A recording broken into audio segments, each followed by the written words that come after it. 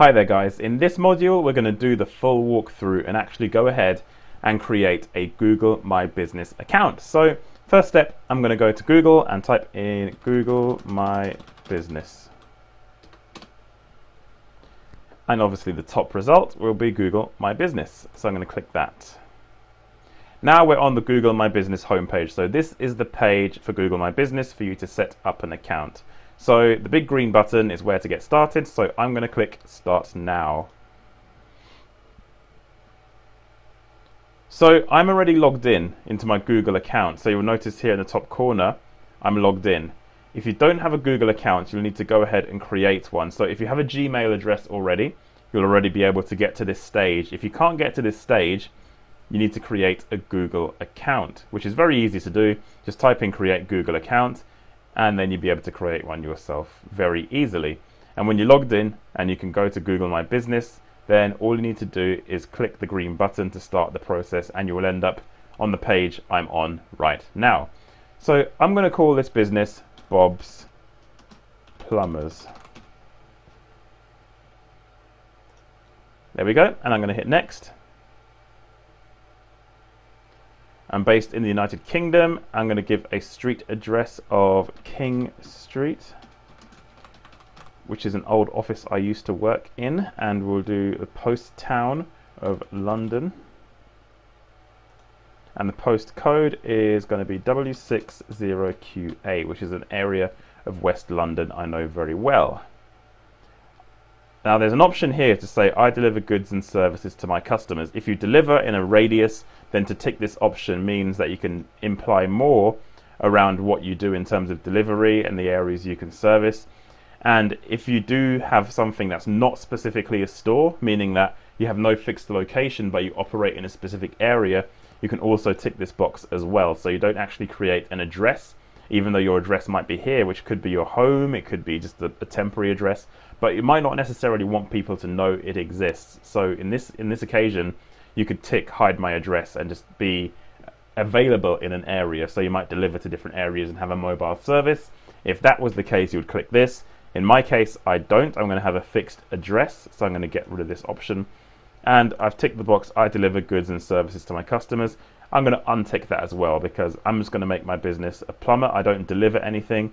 Um, even though technically a plumber operates in an area and they don't necessarily need a fixed address. For the purposes of this, I'm just going to go with a fixed address because it's one of the more common types of places listing, which is a shop or a restaurant or a bar or something along those lines. So I'm going to hit next.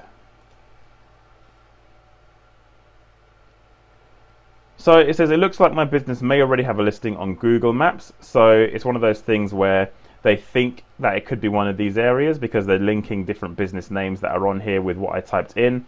Now this can be quite common. They might try and link things together. For example, Bath Store Hammersmith. I'm definitely not Bath Store. I've got my own business. So I am none of these and I'm going to hit next.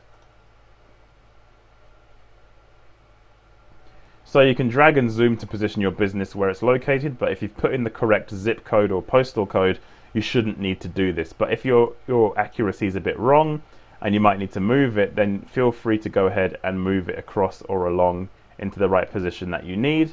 But in my, in my case, I don't need to do this because it's in the right place. So I'm going to hit next. So the next thing you need to do is choose the category that best fits your business. So there are a number of categories and as you start typing, you can see the category start to appear. So I'm going to do plum and I'm going to find plumber or plumbing supply store. So I could either, if I'm a plumber and my main thing is actually supplying the taps and fittings and fixtures, I'd pick plumbing supply store. But in this case, I'm actually a plumber. So I'm going to click plumber. You'd find your business in that list of the type of business you're, you are because there's so many options in that list. There's no way you won't be able to find it. So now I'm going to hit next. The next thing you need to do is list your contact phone number and your current website address. So there are a few things you can do here. First of all, your current contact number, very straightforward to do. You can put in a telephone number here and that will allow you to show customers your number on your listing.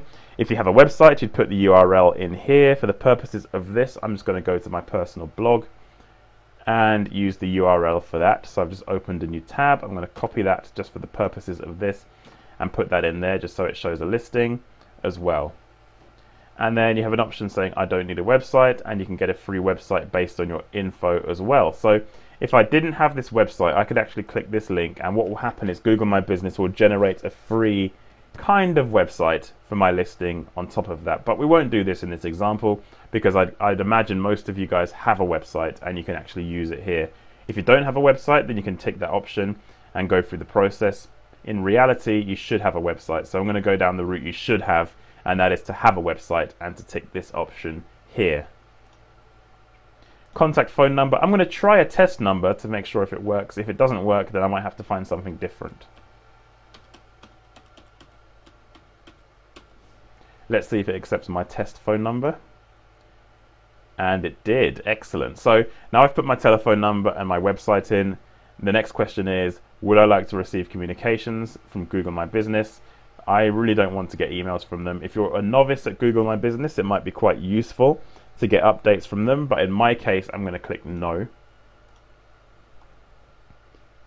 And it's all finished. So verify and finish this finish and verify this business. So it says to manage your listing, you'll need to verify your connection with this business. What you'll get with verification means that you can get people to find you on the map. You can promote your business with photos, track analytics, and respond to customers. So there's still a step that needs to be done in the future to verify my listing, but for now I'm going to click finish.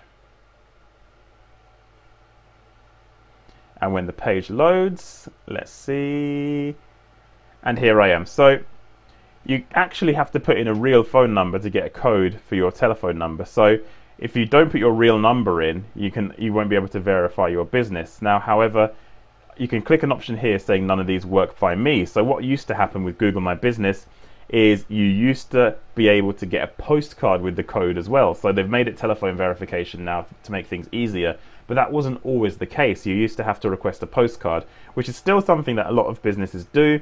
If you don't want to give Google your telephone number, you can do it this way, and it can take up to four days to arrive, as you can see here.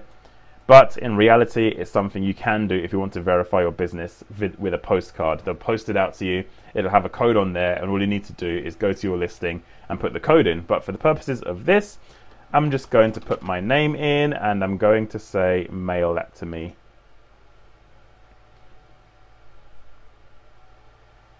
So it says it's coming in a few days. I can still go to my listing and use the listing for now, but it won't appear on the map until I verify it. So that's one thing to consider. Make sure you verify your listing with either receiving a postcard in a few days and typing in the code, or using your telephone number and verifying your business over the phone. So I hit continue, and that should take me through to the page for my listing. So it will come up with an option to say welcome to Google My Business, and it should say get started and that's it. So my business says here it's pending verification, which means I won't be able to get everything live on Google Maps and Google My Business, but for the purposes of this tutorial, I could still walk you through how to use this system, which is exactly what we need to do anyway. So thank you for watching this part. So now you've created an account, we're going to walk through a lot of the functionality within Google My Business in the next module.